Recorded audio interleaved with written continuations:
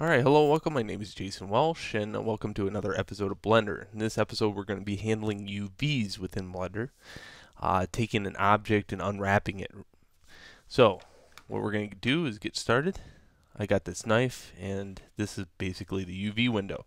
So let's start over from scratch. That way we all know what's going on. Okay, how about I just close Blender altogether and relaunch it? That way it looks just like yours, and I can show you exactly what I would change um, within my workflow. Okay, first off, get rid of any objects by hitting X to get rid of them, and then import them as OBJs. In this case, I have this little knife, and import it using the basic import options here, just the default. Okay, things I would change along the way is the way we navigate around items within Blender. Okay, number one, I'm using um, a laptop computer which has no number pad whatsoever. So I'm going to go in here and change a few things. Uh, that is user preferences.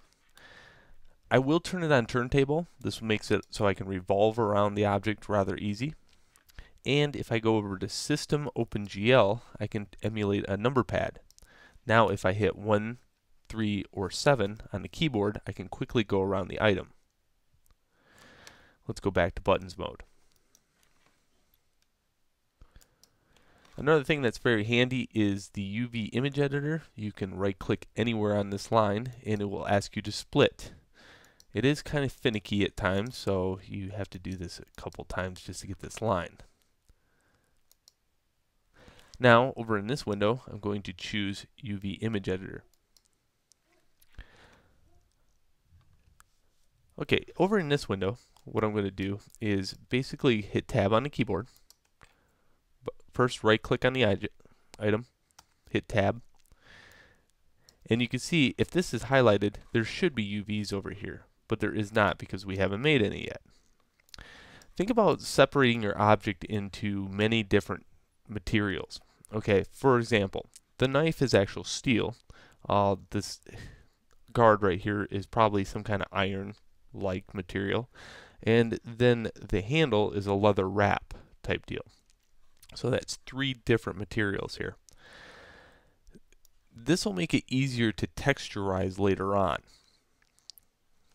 Okay, so let's go to Edge seeing through the item is a very hard thing to look at. So what I'm going to do is choose this option right here, which cell shades it very nicely. If I hold Alt and click right here on the item, it chops it in two all the way around. Okay, I'm going to break this item into many different shells, this being one of them. Control E will mark the seam for that shell. Another shell would start at the base of the knife. Control E, mark seam. Another one would be here, Control, and I'm holding Alt and right clicking to automatically go around the item.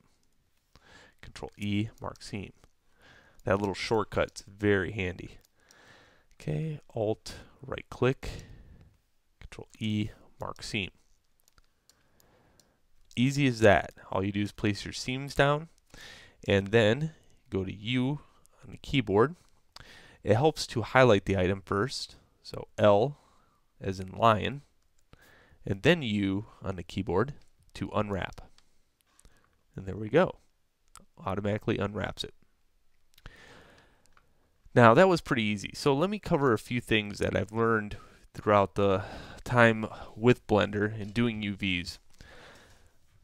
Here's the first tip I'm going to give you. This button right here, Active Sync Mesh Selection amazing little button that doesn't look like much, but when when you apply this, if you see something wrong over in your UVs, you can either highlight something on your geometry and it will highlight over here, or you can highlight something on your UVs and it will highlight over here.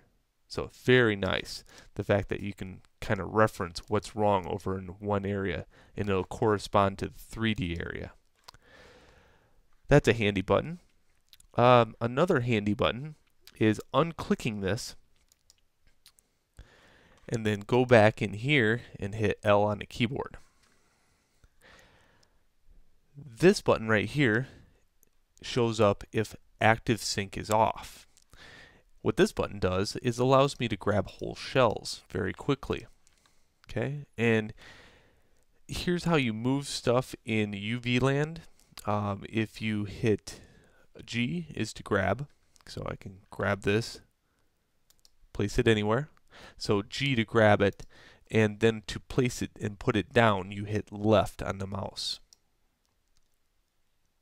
What I'm going to do is kind of give this some um, space between these so when I do texturize it it's going to be a little easier.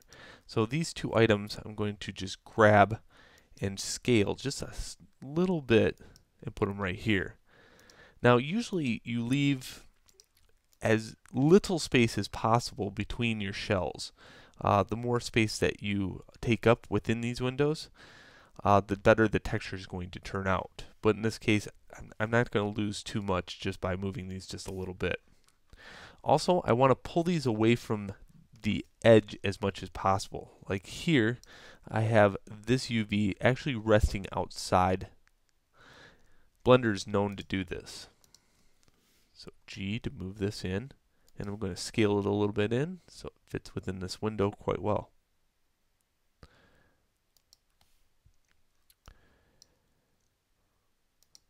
Okay, maybe separate these shells just a little bit.